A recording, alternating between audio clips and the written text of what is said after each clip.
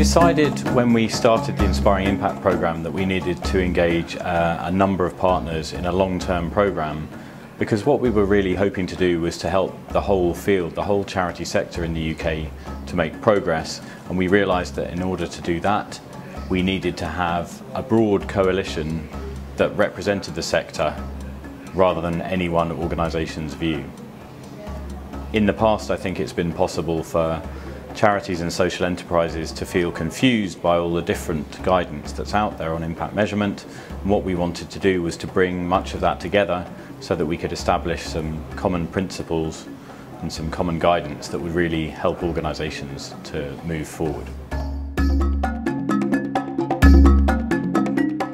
We decided we needed a 10-year programme because we also believe that this kind of change in how the whole sector operates and really raising the standard of impact measurement across the sector is something that's going to take time. It takes any one organisation maybe three to five years to really embed measurement and impact practice to be useful and we're trying to change the whole field so it was always going to be a long-term endeavour.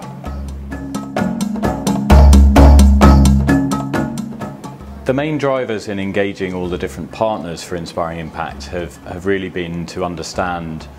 uh, what the needs of the different groups are that they represent. So for example, the Association of Charitable Foundations represents grant-making funders in the UK and they have an interest in strengthening the organisations they support and also in getting better information and reporting to understand their impact better. If we were able to address that, then we're able to engage that community. The same goes for all of the other partners that really knowing uh, what non-profits, what social enterprises and charities needs are, allows us to, to have those organisations that represent them to really work with us to help uh, the organisations that they represent.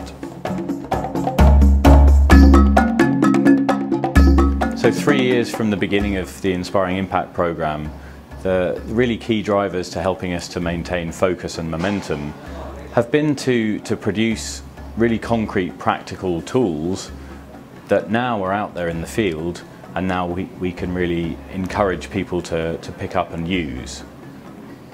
There was a fear, I think, among some that we might just create another talking shop, we might just talk and talk about impact measurement and so for us it's been very important to produce concrete guidance to produce web-based tools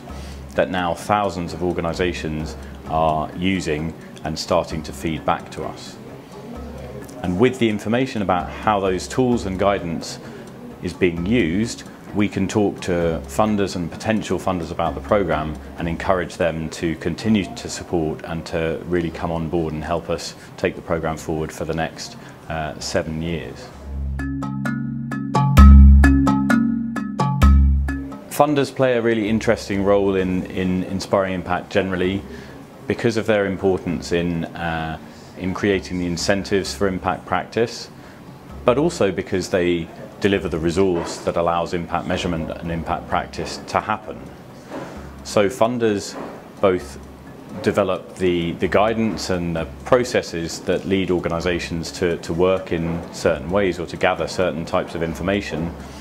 but they also potentially provide the resource to help organisations to do what it is they need to do to embed impact practice. And so recognising that kind of dual role has been really critical for us.